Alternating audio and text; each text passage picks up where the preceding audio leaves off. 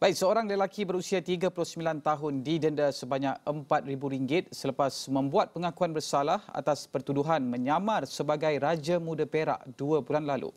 Tertuduh Muhammad Fadil Lop membuat pengakuan berkenaan selepas pertuduhan dibacakan di hadapan Magistrate Muhammad Zulhilmi Latif di Mahkamah Magistrate Alustar pada Isnin. Mengikut kertas pertuduhan, tertuduh didakwa cuba memperdaya seorang petugas di Wisma Darul Aman dengan jalan samaran supaya dibenarkan bertemu Sultan Kedah.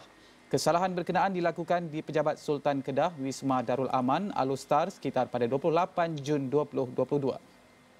Sehubungan itu, tertuduh didakwa telah melakukan kesalahan di bawah Seksyen 419 Kanun Keseksaan Magistrate juga telah menetapkan agar tertuduh untuk menjalani hukuman penjara 10 bulan sekiranya gagal menjelaskan denda sebanyak RM4,000.